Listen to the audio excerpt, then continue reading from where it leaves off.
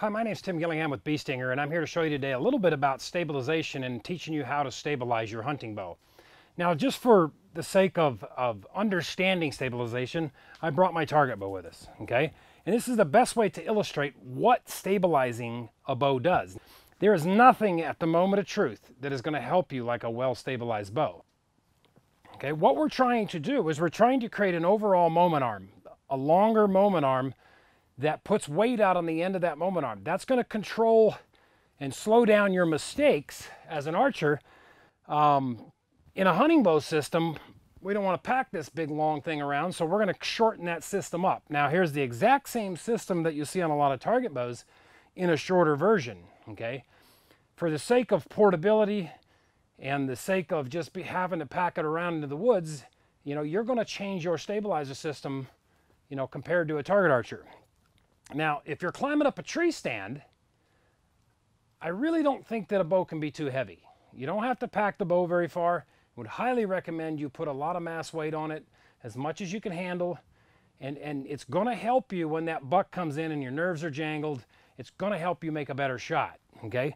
This system here is a Sport Hunter combo with the, the new Microhex with countervail technology.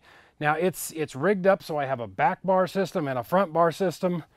Uh, the sidebar system here allows us to kind of offset the weight of the sight and the quiver that's off the, the right side of the bow because we want that stabilizer to kind of help that bow hold perfectly straight up and down too so we level our bubble naturally, okay?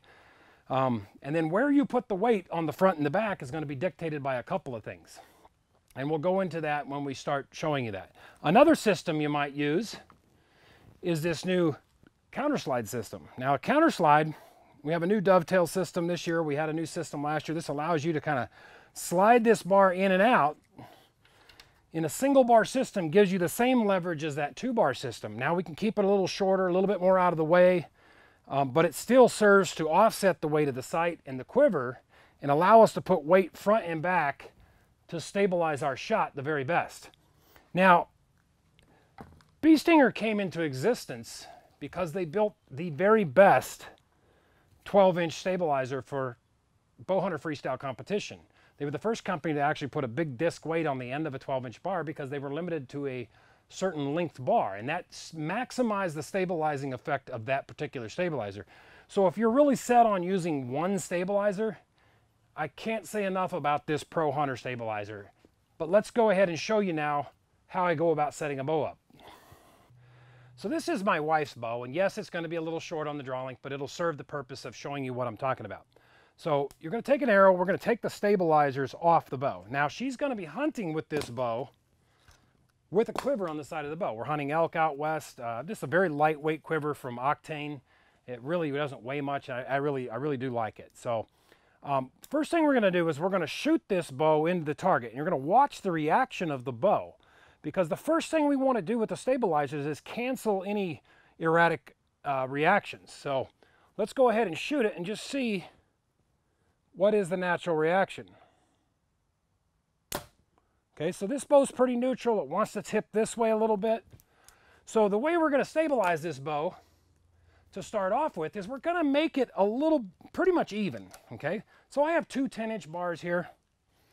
And these come in a 10-8 or they come in a kit or you can buy the bars and the brackets individually and, and do your own. But because that bow reacted pretty neutral, we have a 10-inch bar here and a 10-inch bar here. We're going to keep the weight fairly equal. And then we're going to use the offset bar to kind of cancel that twisting reaction. So now that we have the bars on there, let's look and see what happens. Now it's a very dead. It's still tipping a little bit this way.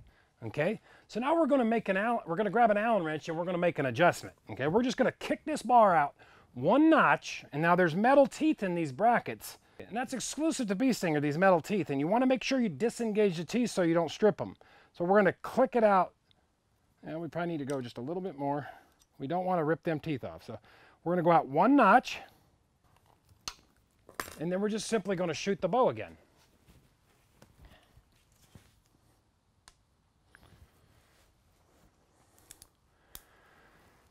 See now I have a, I should have a very neutral reaction in a bow.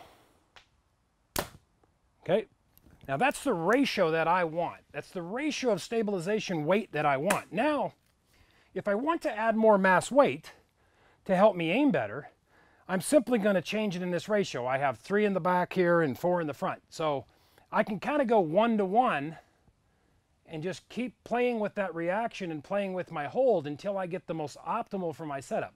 Keep that in mind. Those are the principles of stabilization.